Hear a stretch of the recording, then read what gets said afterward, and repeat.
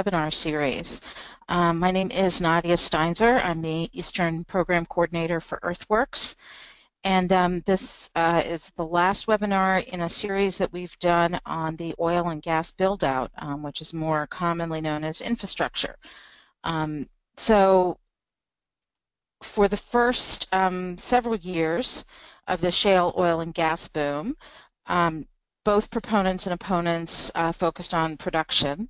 Um, while drilling and fracking are obviously still very big concerns, um, we've also moved into a new phase of development, which is this build out and infrastructure. And at Earthworks and many other organizations, and, and obviously folks living with oil and gas, by infrastructure we mean everything that supports oil and gas development as a whole. So in addition to pipelines, compressor stations, processing plants, we also have aspects like waste, um, and that's what we're talking about tonight. Eh, they're all kind of different spokes in the oil and gas development wheel. Excuse me. So as oil and gas development expands across the country, even if you live in a place without drilling, um, chances are that you're affected by some kind of infrastructure. Um, I live in New York, and we are definitely getting a lot of pipelines and compressor stations, as well as a lot of waste. Um, so that's one reason I'm interested in this topic. Um, the other topics in our webinar series have um, included community participation and planning around infrastructure, air, climate, and health impacts of the infrastructure build out, and the public costs of pipeline expansion. And this webinar tonight will be recorded, and then all of those webinars are available by recording and with additional um, information. Um, but tonight, uh, you're going to hear about um, what is an often overlooked impact of the oil and gas buildout, and that is the risks to the environment posed by large volumes of waste, both liquid and solid, um, that are created during drilling and fracking. Um, so I'm going to give an overview of the topic and introduce what state and federal regulators should do to address the problem and things that we can all do in our own um, states and communities. And then um, we have the pleasure tonight of hearing from John Noel, who is the National Oil and Gas Campaigns Coordinator for Clean Water Action based in Washington, D.C. And John is going to discuss the impact of a provision in the Safe Drinking Water Act that allows oil and gas companies to inject uh, wastewater directly into aquifers. Yes, you heard that right, um, but John's going to set us straight in what it means and what's being done about it.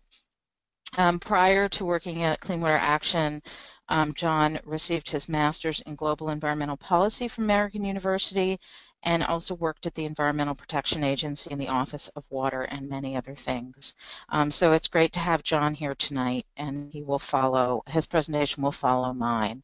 Um, so can everyone see my screen? Hillary, are we good? Yes, looks good. Thanks, Nadia. All right, thank you. Um, so why the fuss now um, over waste? Um, and that is a picture of a large uh, wastewater impoundment in Pennsylvania being being constructed. You can see the scale of it. Um, so the scale of change is what has brought uh, more attention to waste.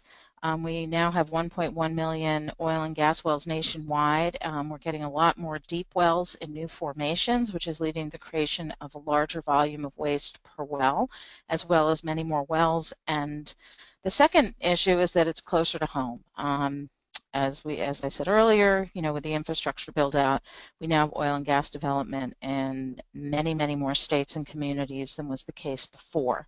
So you have more people paying more attention to the development and being concerned with all aspects of it, including waste.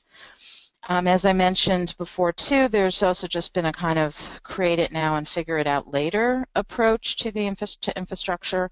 You know, we'll figure out how to transport the gas later, and that's certainly been the same attitude with waste. Um, we're just, you know, regulators are starting to play catch up on the impacts um, and to suddenly say, oh my goodness, there's a huge volume of waste being created, and how do we adjust our regulatory and policy systems so that we can properly handle it? Um, and there's just been a surge in understanding about what the waste contains and study about the content of it and the risks of it, which I'll get into. So with all this new information, it's clear that the waste has a toxic and sometimes radioactive content. The other issue that's really um, come to the fore is capacity constraints. How do we handle the growing volumes? How do we dispose of the liquid waste? Um, we'll hear from John about how it's being disposed of underground, um, what happens when it goes to our wastewater treatment plants, and then landfills. And we'll get into all of that a little bit more. So first I just want to um, introduce a bit uh, what the waste is, the what, why, and where of it. Um, these are, this is a picture of a, um, a waste pit, an open air waste pit. They're called reserve pits um, that stay on well sites. This one is in Pennsylvania. And that's where a lot of the uh, liquid waste just kind of gets stored temporarily before it's hauled off site.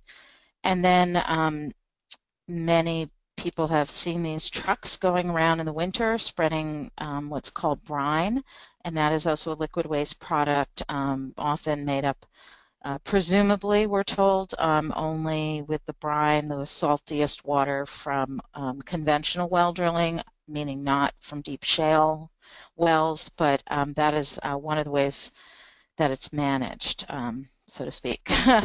so what is liquid waste? Um, it is there, there are two primary categories of liquid waste. The first one is produced water, and that's what most um, people mean when they refer to brine. They mean the produced water, which is the water that's brought up from the formation. So whether it's the Marcellus shale or the Barnett shale or you know any formation where you bring up um, oil and gas, you get a lot of water that is naturally occurring in the formation that comes back uh, during drilling. And it's extremely salty. Um, because it's from deep underground. The other category of liquid waste is called flowback, which is what flows back after it's been injected. So, um, you know, an average Marcellus uh, well, for example, or shale well in general, um, when you're developing gas, can use millions of gallons of water. Um, in addition to that, um, lots of sand and chemicals go down in down the hole as well to frack.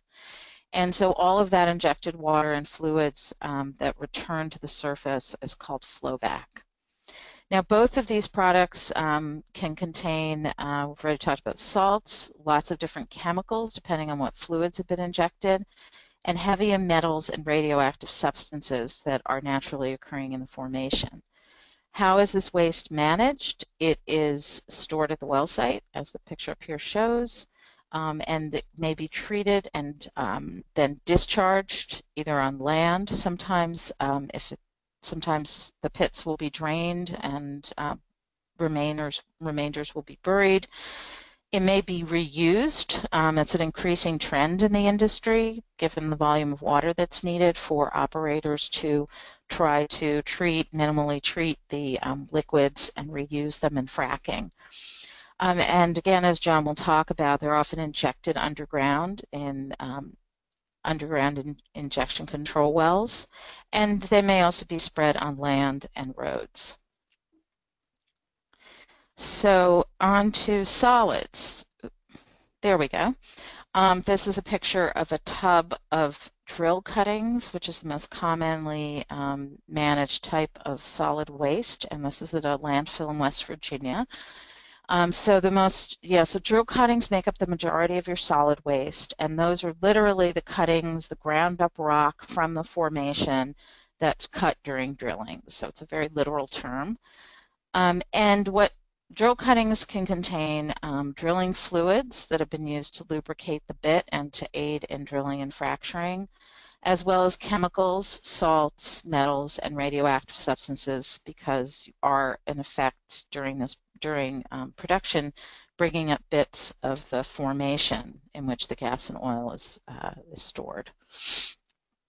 And solid waste is managed primarily by uh, storing and burying it on site. Um, there are also reserve pits used where the solid waste is kept uh, temporarily, um, and it may be it's primarily disposed of if it's shipped off site at landfills or specialized facilities if it is detected as being radioactive. And that's a really long, complicated topic about radioactivity in solid waste. Um, should be happy to talk about more later. Um, or I'll refer you to some materials as well. But if the waste is detected as being highly radioactive, it is shipped generally to specialized facilities, um, but otherwise it can be buried on site or put in landfills.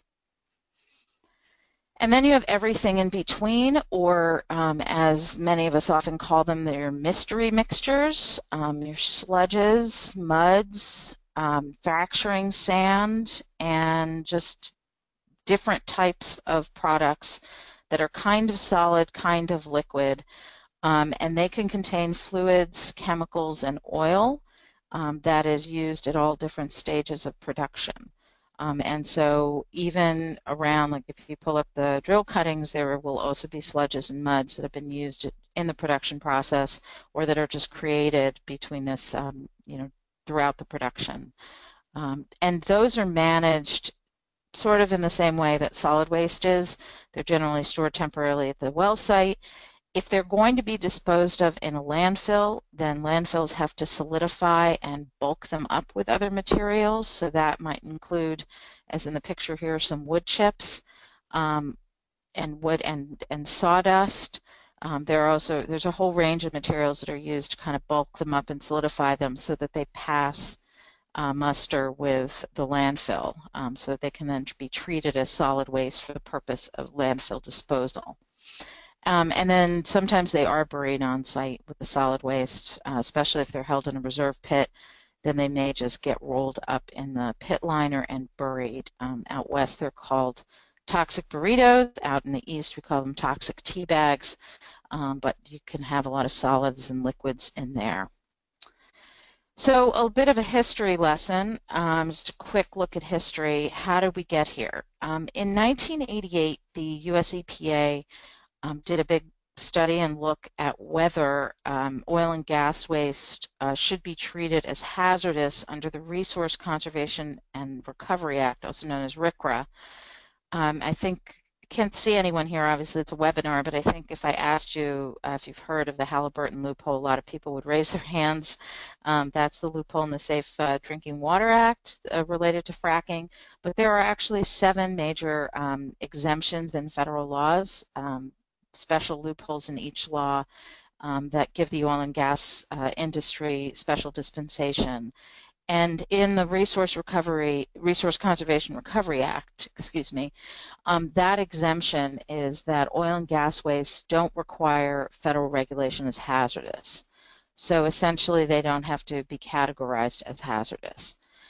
And why? Um, the EPA at the time concluded that the state was the right level to regulate oil and gas waste and that state regulations were adequate. And they also recognized that if the oil and gas industry had to treat its and manage its waste as hazardous, it would have a negative economic impact. So that definitely figured into their decision.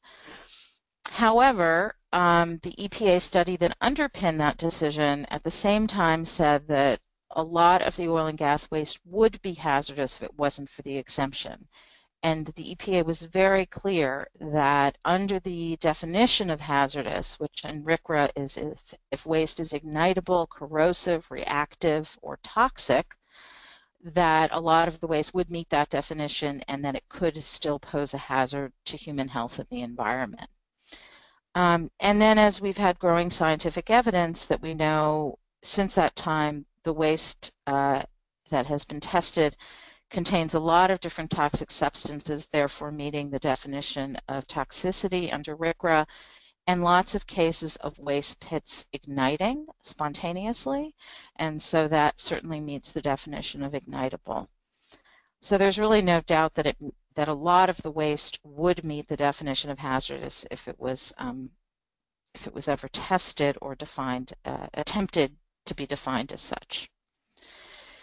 So a couple of years ago, um, Earthworks decided to take a deep dive into the waste issue and look at how these wastes are being managed in the four states in the Marcellus and Utica Shale, so Ohio, Pennsylvania, West Virginia, and New York.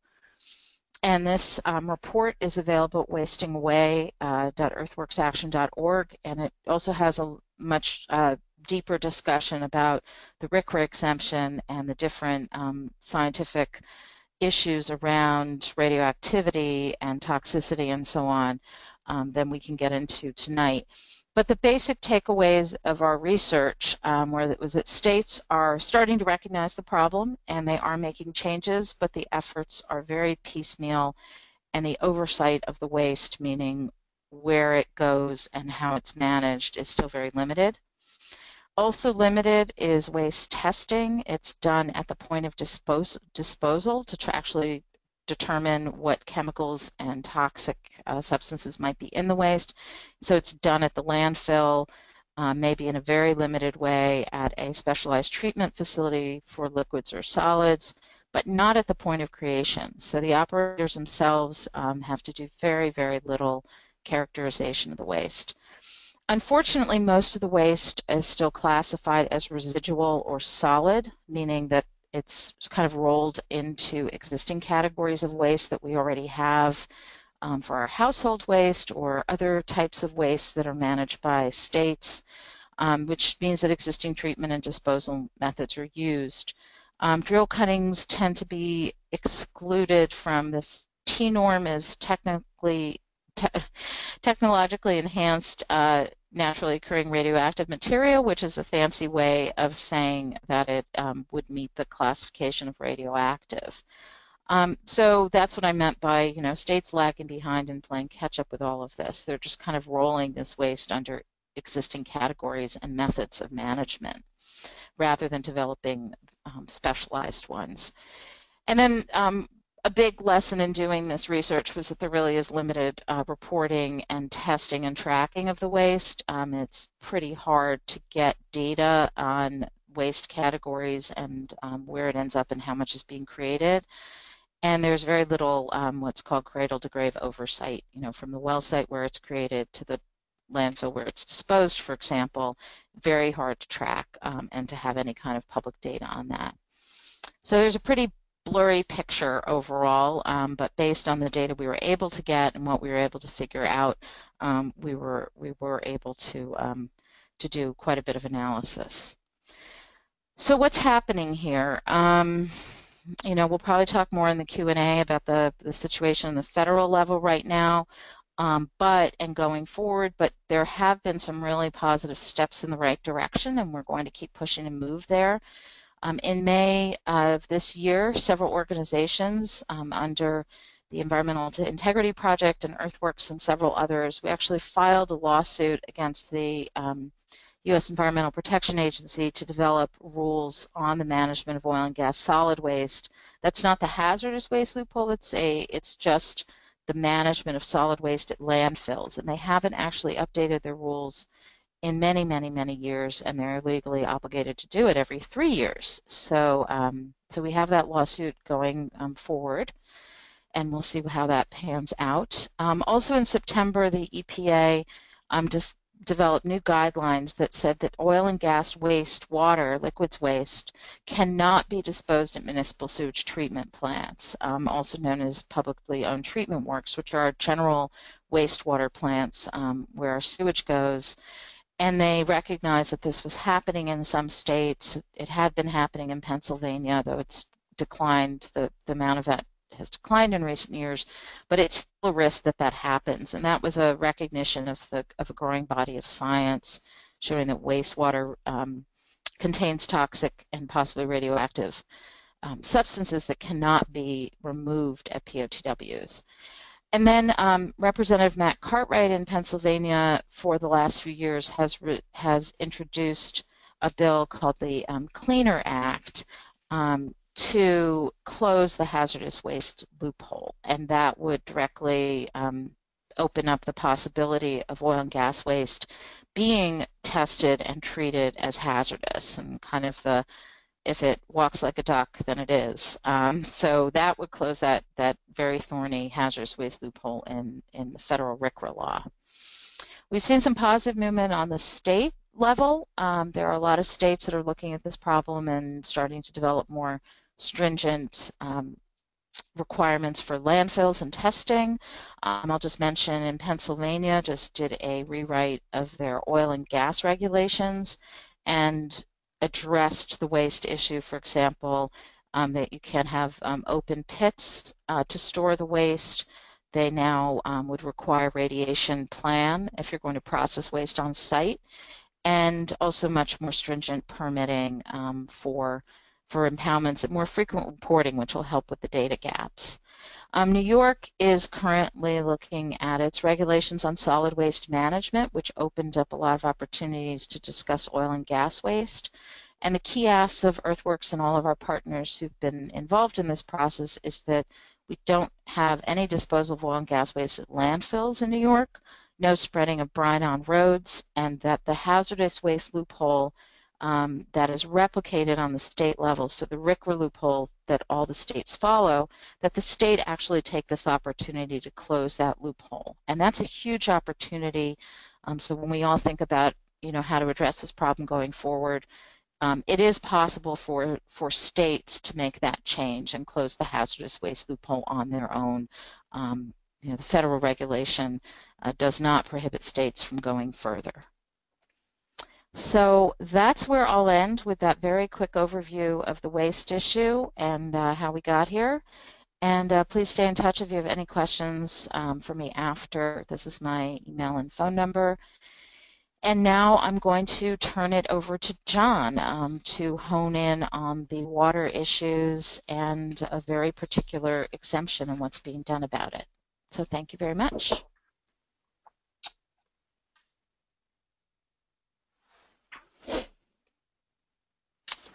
Hey everyone, can you hear me?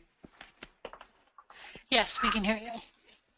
Awesome. Thanks Nadia uh, and Earthworks for pulling these webinars together. I, uh, I definitely just learned something there, so thank you.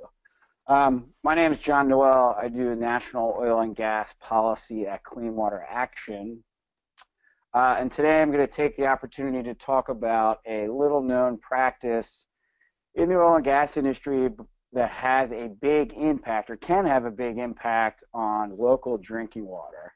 Uh, and it's an issue that I think is going to remain a real threat uh, when drilling starts to increase in the future, which we know is coming. so the fundamental premise of the Aquifer Exemption Program is that there are circumstances when EPA believes other interests are paramount to groundwater protection. Uh, and in our case, it risked prioritizing fossil fuel development over drinking water protection, uh, and it needs to have rigorous oversight. Um, so what I'll talk about briefly is covering some of the basic concerns with aquifer exemptions. We'll go over an update in two state investigations Clean Water Action is in, and then briefly what is next. Um, so as we know right now, in terms of liquid waste, there are roughly 10 times the amount of wastewater generated the actual resource, right? So in California, there will be 10 barrels of wastewater created for one barrel of oil. And all this waste needs to go somewhere. Uh, and the majority of it, roughly 90% of this wastewater, is injected underground. Uh, and in some areas of the country, it's injected underground directly into potential sources of drinking water. Uh, and so injecting fluids underground is where an aquifer exemption uh, would come into play. So how, does a company secure an aquifer? Well, actually, what is an under, uh, aquifer exemption? So under the Safe Drinking Water Act, all underground sources of drinking water are protected. It's one of a handful of landmark environmental laws. Um, and EPA defines an underground sources of drinking water with a water quality reading of 10,000 milligrams per liter total dissolved solids, or shorthand 10,000 TDS. Uh, this is just a line in the sand of what EPA considers uh, treatable in terms of uh, drinking water quality. Oil and gas companies can get the federal protections on drinking water lifted and then inject wastewater and other fluids through injection wells directly into these once protected drinking water sources, essentially destroying them. And this whole process is regulated under EPA's UIC program. and the concept of an aquifer exemption first came about in the early 1980s when EPA was developing the UIC program. The oil and gas industry at the time lobbied EPA and they said if all underground sources of drinking water are to be protected, uh, that will hinder oil and gas development in certain areas.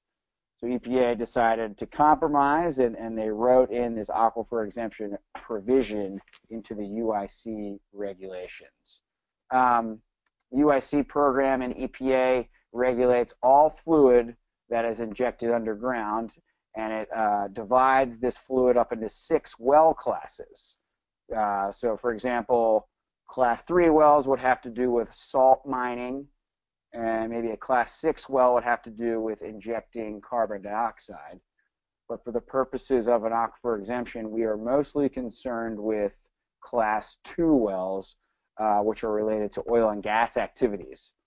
And there are two main activities that need an aquifer exemption for the most part. The first would be disposing oil and gas wastewater underground for permanent disposal, and the other would be for enhanced oil recovery, uh, which is the process of injecting uh, water, steam, chemicals underground to recover residual oil in depleted oil fields. And enhanced oil recovery, you will likely start hearing more about because it's becoming an increasingly important technique uh, in the oil industry to recover more oil. Uh, and even in California, it's responsible for the majority of California's oil production.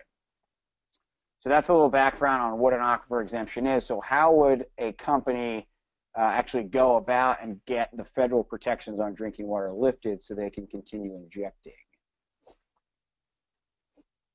So in order to do that, a company must first prove that the aquifer that they want to inject their wastewater into is not a current source of drinking water, meaning that there are no drinking water wells currently pulling from that aquifer. The company also has to prove that it will not, the aquifer that they want to inject into will not serve as a source of drinking water in the future. Uh, and there are a number of ways that the oil and gas companies go about that in the regulations. They could say it's too deep to economically access for drinking water. They can say it's too contaminated. Or they're allowed to say that the mere presence of oil and gas and minerals within that drinking water in the same zones as that drinking water gives them the ability to lift the protections on it. And lastly, the oil and gas company could say that the water is above a certain threshold. So it's above 3,000 TDS, uh, and they should be allowed to inject into that potential drinking water source. And there are a number of uh, concerns related to each one of these criteria that EPA has developed. Um, briefly, one of them is that water above 3,000 TDS is arbitrary and it was written into the regulations 30 years ago. There are many municipalities, states, and locations across the country that are treating much higher TDS water for, for drinking. And so that's just one of the upfront concerns that we have with exempting an aquifer. um, management and enforcement of the aquifer exemption program in most states, it, most oil and gas area, areas is delegated to the states, but federal EPA has the final approval uh, on the decision to exempt an aquifer from federal protections. And so there are more concerns with this. Uh, one large concern that we have is that EPA over, oops, EPA oversight over the program is inadequate. EPA does not have a full list, map, or understanding of where all the aquifers that have been exempted are throughout the United States. The program has been in existence for over 30 years, and they do not have an accurate picture of where exempted aquifers are located, uh, which we think is problematic. The public should know if they are living in an area with oil and gas development and that the aquifer that they're about to drill a water well into is polluted with oil and gas waste. Um, so this picture right here is a map we made with uh, EPA data from a year or so ago. It's data that EPA knows is incomplete, and they're working uh, to get a better picture of. But just roughly analyzing this data, there are 5,000 exempted aquifers across the country, and that number will grow, we know, because EPA doesn't have all the data it needs. Um, 18% of those 5,000 don't have an exact location associated with it, and 66% of that 5,000 do not have water quality information associated with the aquifer. So if there is no water quality associated with it, how was it exempted in the first place? These are just some of the concerns we have.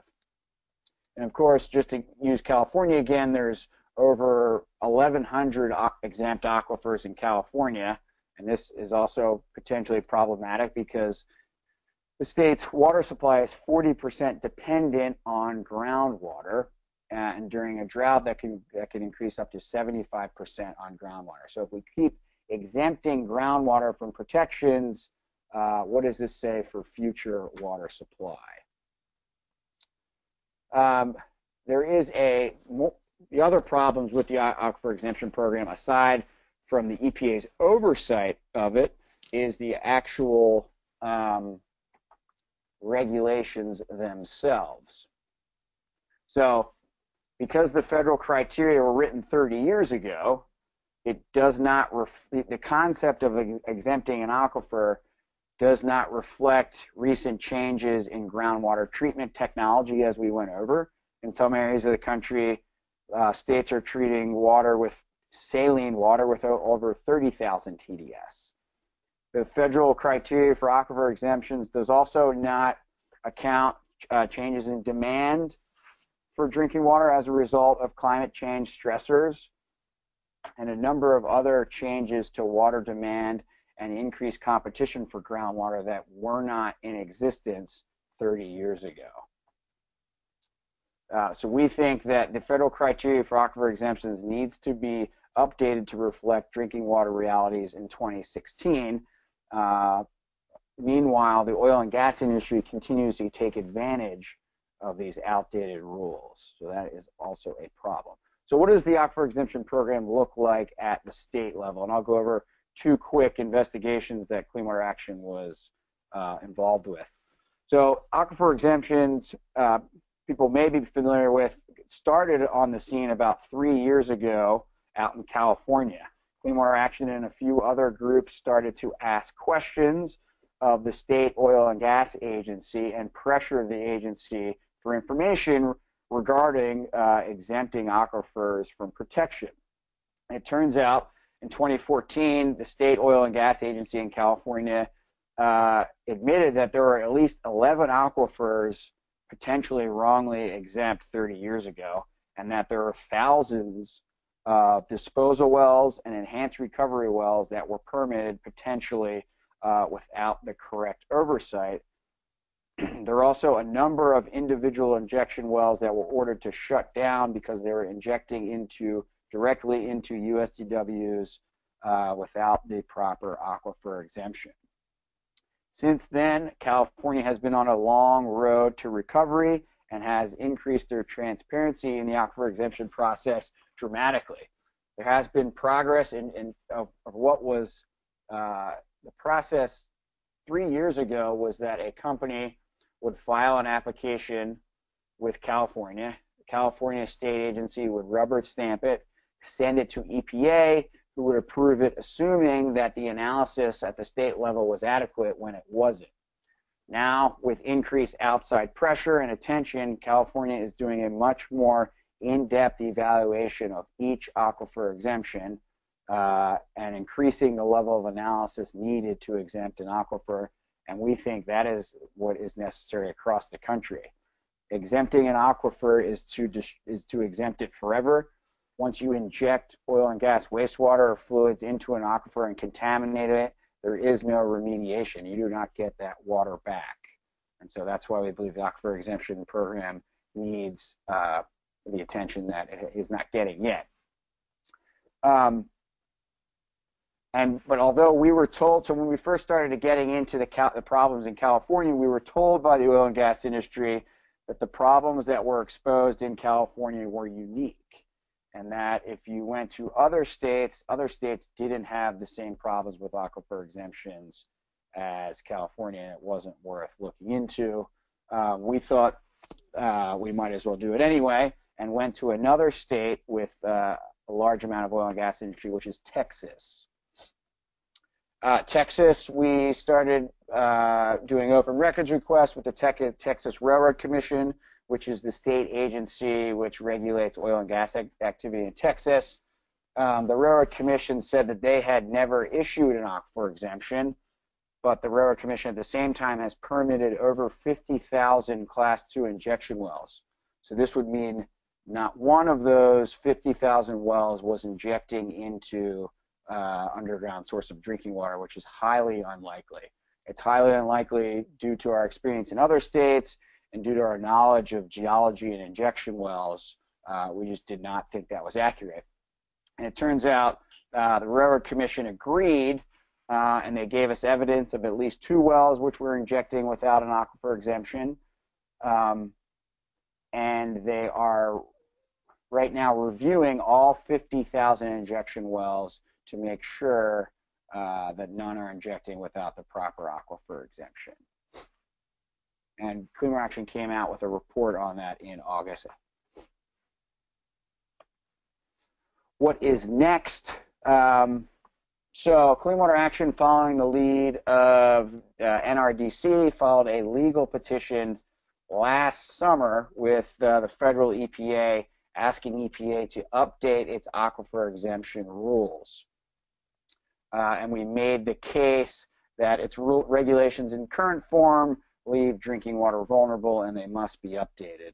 Um, at the same time, we're calling for an immediate moratorium on all new aquifer exemptions until these new rules are put in place. We're also asking EPA to publish a full inventory of all aquifer exemptions nationwide, uh, and that's something EPA has told us they're working on, uh, and that should be published uh, within the next few months, hopefully. Uh, and then lastly, I, will end on saying something that we all recognize is that federal policies are designed as the floor for environmental protection, right? So progress can still be made uh, in terms of protecting drinking water from oil and gas development at the state level. And indeed, California, in terms of aquifer exemptions, is a very good example of state level progress uh, without EPA. So as we as we transition into what is considered what almost everyone would consider a hostile administration for for environmental uh, considerations, um, there's still progress that can be made at the state level. And lastly, also recognize that aquifer exemptions are a necessary part of expanded oil and gas development. Just like fracking is necessary, just like trucks are necessary, so too, in some areas, are aquifer exemptions, uh, and we, we need to, to remain vigilant and definitely pay attention to this little-known aspect of the Safe Drinking Water Act. Uh, here are a few resources. These are just three uh, papers that Clean Water Action has recently put out, and I am always available to talk uh, and in more detail about this and anything else. Thanks, John, and thanks, Nadia. Um, we do have some time to take questions. If you want to submit a question um, in the panel, your GoToWebinar panel, there's a section for questions, and we'll receive those directly. Um, and I'll start um, actually by asking Nadia, um, Nadia, what do you think that safe waste management would look like? That's a really good question. Um, and I guess the first um, part of the answer is defining safe. Um, so probably given um, what we've just been talking about in terms of what the waste actually contains, the waste itself is unsafe.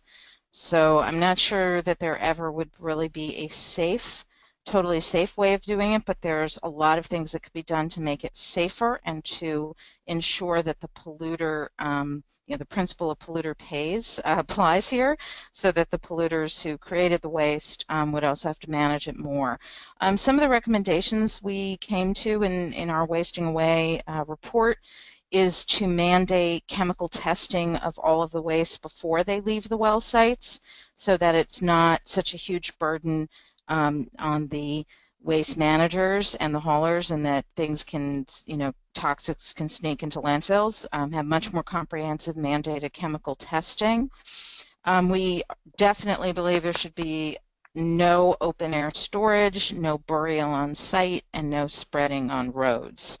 Um, this waste needs to be treated and disposed of differently. Um, and treated and disposed of at specialized facilities only. So I mentioned, you know, it can't send wastewater to our regular sewage treatment plants, but nor should this uh, waste be going into regular landfills. At this stage of the game, um, you know, John John just said there are all these aspects that the industry needs to keep developing, and after decades of development and many years of, in the shale boom with these what the industry considers to be very high-level technologies, uh, it's pretty high time uh, that the industry should also find a better way um, to treat and dispose of the waste at, at, specialized facilities.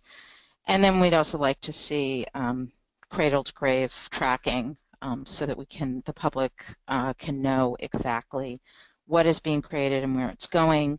Um, those manifests should exist throughout the entire uh, chain of the waste. Um, and maybe I'll, I'll ask John um, to maybe speak to what could be improved, um, you know, with the UIC program as well to make it safer.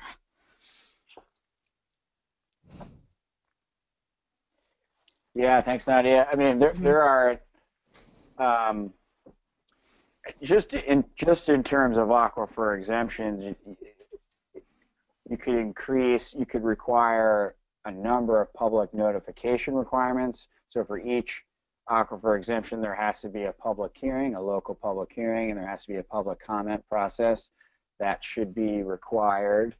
Um, publishing a full inventory so everyone in the country knows where aquifer exemptions are. Um, and then there are a number of technical aspects to the UIC program, uh, which we produced in a UIC report that I could send around, which people could get more in-depth ideas of what can be improved at the federal UIC level. There are a lot of states, California again as an example, is making progress in terms of updating their UIC regs and that is something that we'd like to see in a number of other states with heavy oil and gas development. Thank you guys. Those are great answers. Um, so we have a few more questions here, and I'll try to move through them. Um, this question is from Alberta, Canada, but I think it applies um, definitely to many areas in the United States. And Andrew asks, how can we protect our groundwater and surface water when our provincial or state government is captured by the oil and gas industry?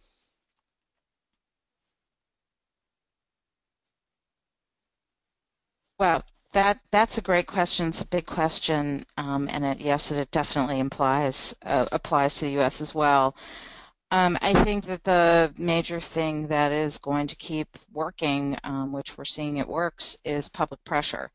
Um, so you know, the more, it, yes, it's very difficult to say appeal to your local government level and then find out that they're captured either through leasing or economic um, incentives. Um, but I think the you know the the anti-fracking movement um, proves the strength of it, proves just what public opinion and public pressure can do. Um, we you know I think that that those of us who are steeped in the waste issues would really like to see um, waste uh, take on a you know a greater role in in the kind of fights um, that are going on. So just don't give up. Go to the media. You know, if you're interested in particular resources or particular ideas um, for the specific issues in your community, um, definitely contact me, um, and we could we could brainstorm more about that. I'd be really interested in knowing um, more about what's going on. But the capture and the influence of the industry in our politics is obviously a huge and growing problem. I don't know if you have anything to add to that, John. Yeah, no, I mean, I mean, politics is all about who shows up. So public pressure and persistent public pressure, I think, is what's necessary. It's sometimes people bring up all these issues and, and there are egregious violations that the oil and gas industry does on a daily basis, but it's persistent pressure for local local and state authorities to follow up and improve conditions on the ground that's necessary.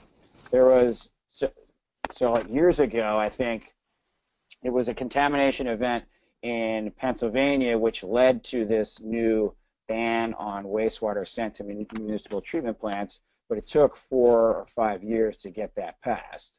Right. Um, so it, it's it's persistent uh, attention to the problems that need to be addressed. Mm-hmm. Well said.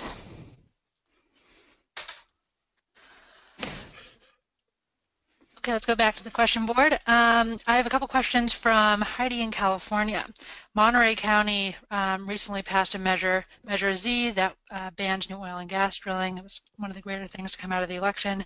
Um, and she's wondering, so in addition to the ban, it also requires all existing oil and gas operators to recycle 100% of their wastewater on site. She's wondering how feasible this is, both technologically and economically. Um, well, I'll take a crack at that. Um, in terms of the recycling and reuse, um, it's feasible to a point, um, and 100% that would be unbelievable. Um, the figures that we've seen out of Pennsylvania is that it's more, you know, where they've been tracking this and where operators say they've been doing it for a longer time, you know, has been maybe 15 to 20 at times. I mean, there's, it's just, we've never, industry often says that they are doing 100% recycling or they can do it. Um, there might be companies that do it in certain circumstances. Um, and then when I say to a point, it's because even if you process the fluids to be able to reuse them, and that's definitely great because, especially in a state like California, any amount of the pro produced water that you can reuse is less fresh water that you're using. Um, but after a while, I mean, this it's so heavily contaminated with salts and chemicals that you're going to be left with some sort of polluted, contaminated product that has to be treated and disposed. And there, throughout using it and reusing it and processing it, um, some of those contaminants can be, become even more concentrated. So it's just something to stay vigilant about and to and to you know why this issue of needing to take the waste to specialized facilities is also really important. Um, there are some of these specialized wastewater treatment plants in Pennsylvania, for example, that treat the the water so that processors can reuse it. And even at the end of that, they end up with what are called filter cakes from the filtration system, and those are highly toxic and high and and radioactive. So it's really important to have that commitment. Fantastic that that commitment exists. Um, let's hope they do it and that they also, in the meantime, find a solution for the end product of it all. Um, Thanks, Nadia. I think this is another uh, great specific question. So what happens when you have a fracking site in one state, but you take the waste in another state and dispose of it? What role does the U.S. EPA have to do with receiving states, and what kind of help can they get? um, John, you may have something to add to this, but it's really because the waste is managed and transported between waste disposal facilities, which are very often, they may be like municipal landfills or municipal um, treatment plants, or, but they may also be private businesses, like a like a wastewater uh, treatment facility for oil and gas waste and many landfills are managed as private businesses. So it's not something actually that the EPA gets involved in. It's not the same as like an interstate pipeline when you have the interstate transfer of waste. It's really up to the the hauler who is or the producer of the waste or the waste manager that is sending the waste and the recipient of the waste to work it out. Um, and this question underscores a really big issue. Um, and we looked at it a bit at, in Wasting Away in terms of the flow of the waste around across borders. There's a lot of waste that that just crosses borders all the time, as as the as the person asking the question indicates. Um, and unfortunately, that it comes down to state level regulations. Um, we need states to start paying attention to the waste that's coming in and the volumes that are coming in, which is where a lot of the fight in New York is right now, for example, that um, you know, regulators weren't really paying attention to just how much was coming in, and now they are. So I hope that answers your question. Yeah, I don't know, John. thanks, John. Yeah, I don't know, John, if you have anything to add to that about, um, you know, specifically if water, wastewater comes from one state into the other, into another that might have more aquifers or, or Yeah, no, UIC it, program. it seems like they, you know, as you know, they're when they're moving waste around, you're just they're passing the pollution burden from state to state, and ju- and it also depends on how, what's the final way to dispose of the wastewater. So in Pennsylvania, if there's a if it's fracked wastewater from Pennsylvania, there are no underground injection wells in Pennsylvania, but the, and if there are a few, and they're regulated by EPA, so a lot of that waste is shipped to say West Virginia, where there are lots of UIC wells, and those are not regulated by EPA, but by the West Virginia Department of Environmental Quality, or whatever it is down there. So it's passing from federal regulations in terms of Pennsylvania to state regulations in the surrounding states. Right. So I think I'm going to wrap us up with uh, one question that combines four or five different questions that we've gotten about the safety of um, waste and wastewater. So there are examples of waste being used instead of salt on roads. Um, there are examples of wastewater being used to water crops in California. Um, and apparently in West Virginia, there's a company that is trying to extract the salt from the waste and sell it. Um, what are some of the safety concerns and um, what can be done about it? Really important question. I would say that the overarching safety concern is that the science hasn't been done. Um, I've heard um, a bit about the, you know, the push in California to use um, oil and gas wastewater on crops, and the science to demonstrate what the hazards are and to demonstrate that it's safe um, just haven't been done. So it kind of invokes the age-old concept of the precautionary principle, which is that if something, if there's a risk to a certain practice, it is incumbent upon the the person, or in this case, the entity, the industry, wanting to do the action to prove it safe first. But we need to take a stance of precaution. So that's the biggest problem. There's no end to innovation in the oil and gas industry and the concept of, oh, we have this problem, well, here's our quick fix. Um, but the science that has been done on waste demonstrates its hazards, as we've been discussing, um, but we don't have the science to demonstrate that these practices are indeed safe. Um, so I would say the first thing to do is to try to get these practices prohibited um, on the local level, get ordinances against them, um, push your state regulators to not allow this until it has been demonstrated safe. And that could take some time because science can take a little time. Um, so.